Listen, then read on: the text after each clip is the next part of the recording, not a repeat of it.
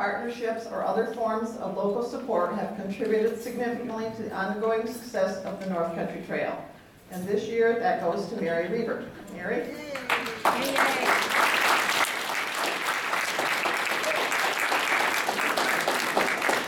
Mary is of the Chief Noonday chapter in southern Michigan, and she is uh, responsible for bringing 30 new members in recent years and retaining some of those who might have um, been lost due to inattention.